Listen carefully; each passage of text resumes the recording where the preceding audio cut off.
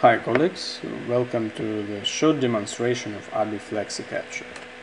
Let's imagine that you have some scanner or MFP device in your office and all the papers which are scanned with the help of this device are automatically saved into some input folder on your computer. At the same time, this input folder will be automatically monitored, automatically checked by ABBYY FlexiCapture. Then I've predefined output folder for exporting my results. And of course I have some invoice samples. So different invoices from different suppliers with entirely different structure and design.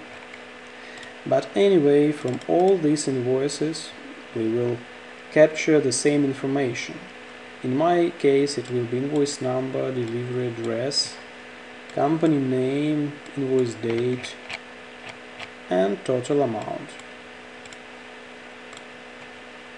So the same thing from the different invoice.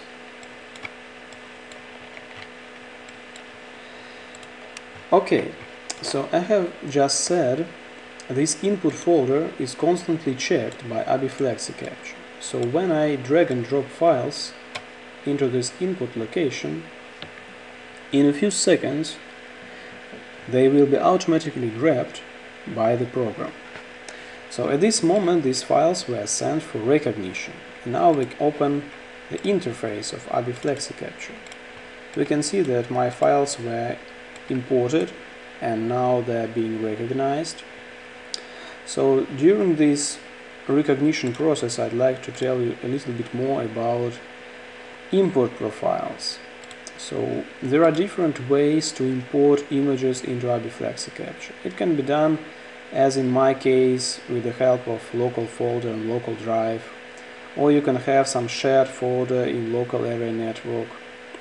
You can have a folder on FTP server or even you can make some special email box and all the attachments image attachments which will be sent Uh, along with emails to this email account so all these attachments will be grabbed by FlexiCapture and processed automatically.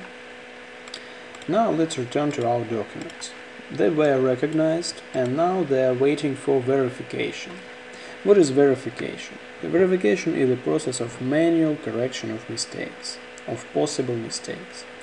Every character during the recognition has such a parameter as confidence level. Confidence level can be from 0% to 100% and if the program is sure that this character was recognized correctly, the confidence level will be 100%. During the setting of FlexiCapture project, you can specify what confidence level is critical for you. For example, you can tell the program to send to verification all the characters which were recognized with confidence level less than, for example, 60%. In this way, you can uh, set up sending for verification all the characters in order to be sure in the perfectly correct output result. Now let's take a look take a look what verification process is all about. So verification consists of several stages. The first simple stage is group verification.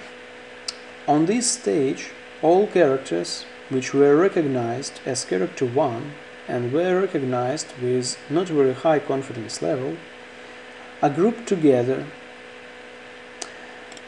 So you can see that this character 1 is from this image, this character 1 is from this image, and etc. But all of them were recognized as number 1 and you can see that it was it's perfectly correct. So you just need to confirm it and go further. You can confirm it by clicking on this button or by clicking enter on your keyboard. The same thing with character 2, it's okay, character 3, alright. And now we can see the next step of verification, field verification, which, which is quite convenient for verification of addresses, names, telephone numbers and so on. So what the difference? Uh, you can see the recognized text on the top, recognized because I can change it. Then right below the recognized text I can see the extraction from the initial image. So this part is the initial image which contains the text and here you can see uh, this field in the context of the whole document. So in this way verification operator can have the full picture of the situation. Again everything is okay, everything was recognized correctly and I just confirm it and go further.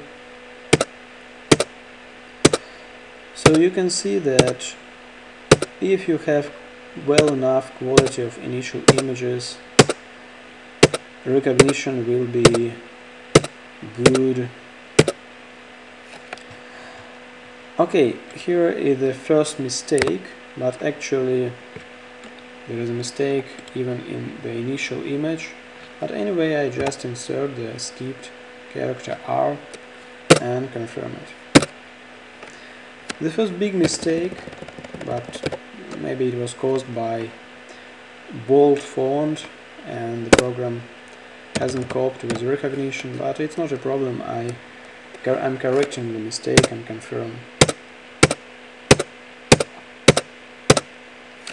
Okay, so verification was completed and now the last step is left. The main step, export.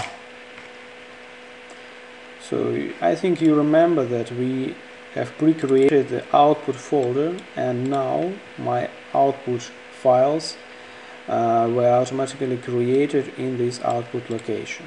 In my case I have uh, two CSV files. The first one with general data from all my invoices. So invoice number, invoice date, delivery address, total amount. Um, all this data from my five invoices uh, were extracted, was extracted and united into one single table. Also I have one more CSV file with invoice tables. So all the tables from different from my invoices were extracted and united into one single file. It doesn't mean that you always need to create separate files for basic information and tables. It's just my uh, way of setting up the export. Uh, export settings are very flexible and uh, so it can be limited only by your imagination and every scenario can be easily realized. So in fact that's all which I wanted to show you and I think you got the general idea of the program. If you need any more clarification please let me know and I will be looking forward for your comments by mail. Thank you and goodbye.